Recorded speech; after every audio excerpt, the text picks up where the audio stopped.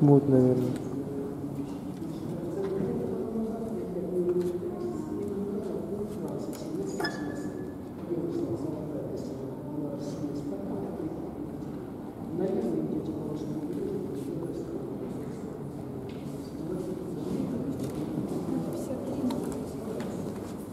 Что?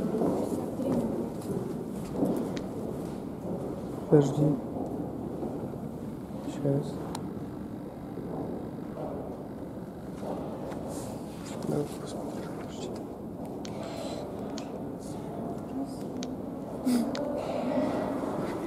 Перед вами инсталляция «Я позволяю себе истекать», созданная в 2007 году. Она производит шокирующее впечатление на посетителей музея. Силиконовый манекен легко принять за настоящего человека. Подошел к картине вплотную и врезался в нее носом, словно пытаясь забраться внутрь. Из носа его течет кровь.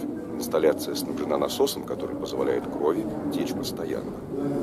Этот персонаж, как и скульптура во дворе, обладает безусловным внешним сходством с Яном Фабром. Он символизирует самого художника, который дерзко вторгается в пространство старинной картины, работы нидерландского мастера Рогера ван дер Вейдена. Вместо оригинальной живописи 15 века в инсталляции использована, конечно, репродукция. Ян Фабр часто делает самого себя героем своих произведений, словно пытаясь проникнуть в них изнутри, стать не только автором, но и участником происходящего. А старое классическое искусство для него выступает не только как объект подражания, но и как строгий судья, перед которым предстоит современный художник, словно карлик пред лицом великого. Недаром картина, в которую он врезается носом, носит название «Портрет турнирного судьи». Кровотечение из носа символизирует возбуждение, вызванное восторгом от увиденного шедевра живописи. И в то же время разбитый нос указывает на травму, которую вызывает у художника совершенное искусство старых мастеров. Инсталляция Фабра помещена между деревянным алтарем и церковным порталом нидерландской работы. Его герои окружают сцены из жизни Иисуса Христа и Девы Марии, канонический христианский сюжет.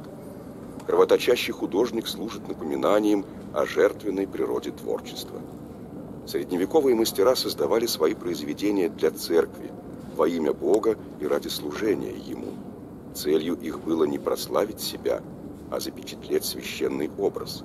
Об этом напоминает картина все того же Рогера ван дер Вейдена, шедевр нидерландской коллекции Эрмитажа, «Святой Лука, рисующий Мадонну», представленный на стене напротив.